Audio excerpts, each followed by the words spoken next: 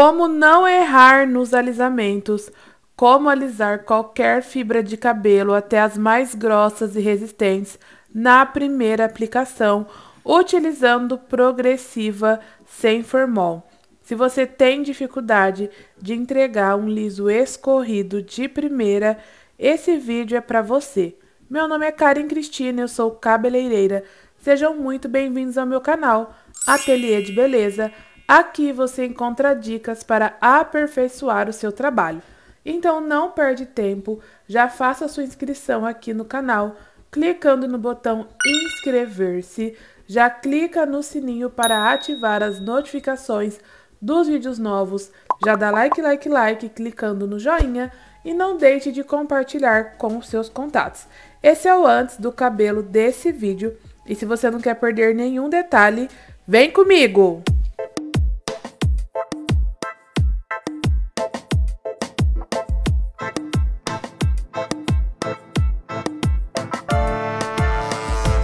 Antes de começar a manusear o cabelo da cliente, para o procedimento de alisamento, a gente precisa analisar a fibra e fazer um teste de mecha, traçar o histórico capilar da cliente, verificar qual foi a última vez que ela fez um procedimento que envolvesse química, com qual frequência ela utiliza fontes de calor, se ela costuma fazer tratamentos em casa, cronograma capilar, se ela frequenta salão de beleza, se ela não for a sua cliente, tudo isso você precisa saber para avaliar o estado de saúde do cabelo dela e a integridade da fibra. É de extrema importância que o cabelo esteja saudável e apto para passar pelo alisamento, porque a gente vai usar não só uma química de transformação, mas também fontes de calor. Dito isso, eu higienizei o cabelo dessa cliente com shampoo cronograma capilar de reconstrução da linha Fusion Frizz da BR Science, que tem óleo de rícino, óleo de girassol, queratina e proteínas.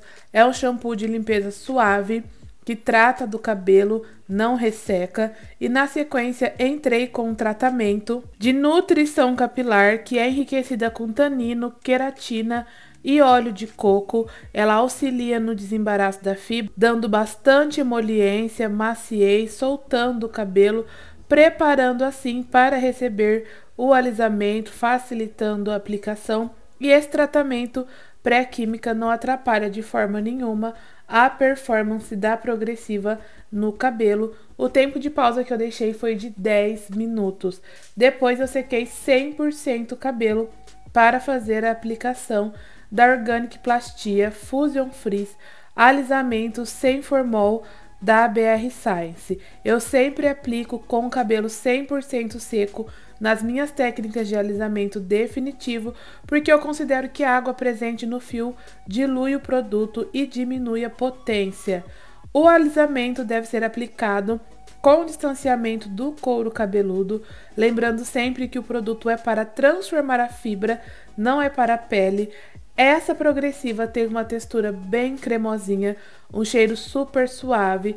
Essa textura facilita muito a aplicação e assim que o produto entra em contato com o fio, a gente já vê um brilho incrível no cabelo, fica sensacional a aderência do produto, o jeito que ela age eu também gosto, porque não é um produto que deixa a fibra rígida, endurecida, o cabelo opaco, pelo contrário, é uma textura fácil de manipular, de manusear, de aplicar e o jeito que o cabelo fica também é incrível durante o tempo de pausa.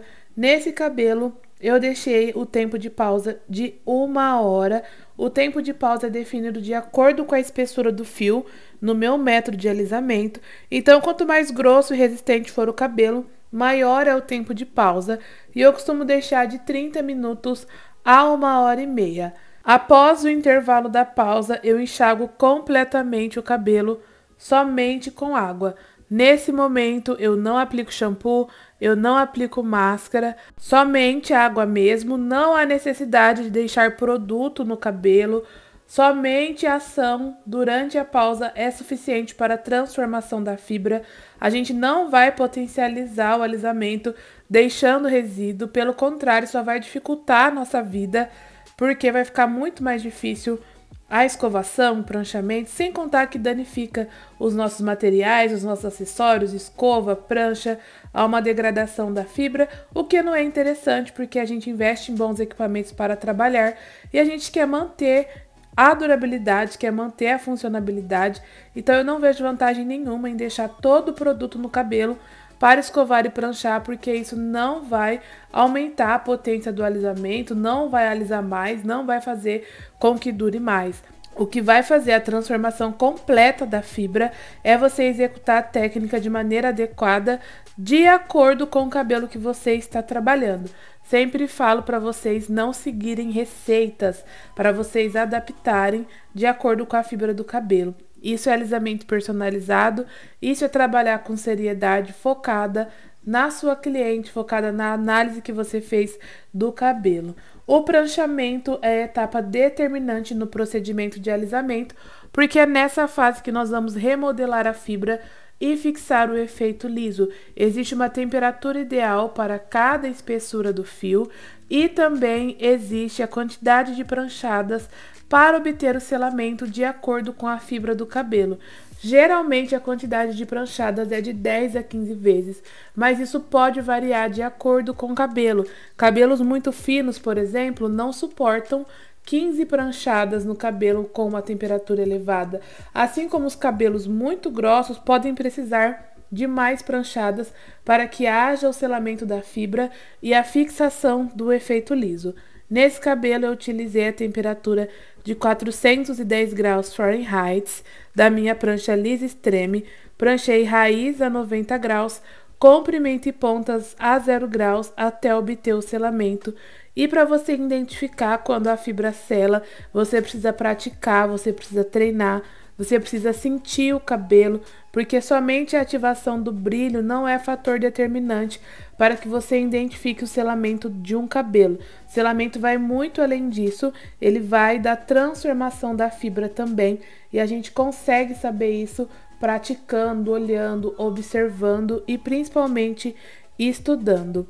Após o selamento de todo o cabelo, após o pranchamento, voltei a cliente para o lavatório, enxaguei bastante o cabelo somente com água e fiz um tratamento de hidratação capilar com a máscara de hidratação da BR Science Fusion Freeze, que é enriquecida também com queratino, óleo de abacate e tanino. Percebam que o cabelo já está completamente modificado, afibralizada, emoliente. Faço a aplicação por todo o cabelo, venho com a escova distribuindo e você pode deixar aí também de 5 a 10 minutinhos o produto agindo no cabelo para potencializar o efeito da hidratação e o resultado final é um cabelo liso, totalmente escorrido, fibra totalmente transformada, com muito brilho, um balanço natural, uma maciez incrível que os produtos da BR Science entregam para todos os tipos de cabelo.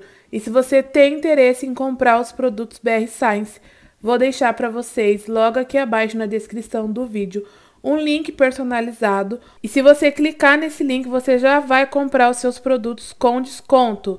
O site da BR Science é www.brscience.com.br, mas se você comprar pelo link que eu vou deixar na descrição do vídeo, você já compra com desconto. Não deixe de me seguir nas minhas outras redes sociais. Eu estou no TikTok, no Instagram, no Kuai, no Facebook. Lá você vai ficar mais pertinho de mim e do meu dia a dia de trabalho também. Espero que tenham gostado do conteúdo. Esse cabelo ficou incrível.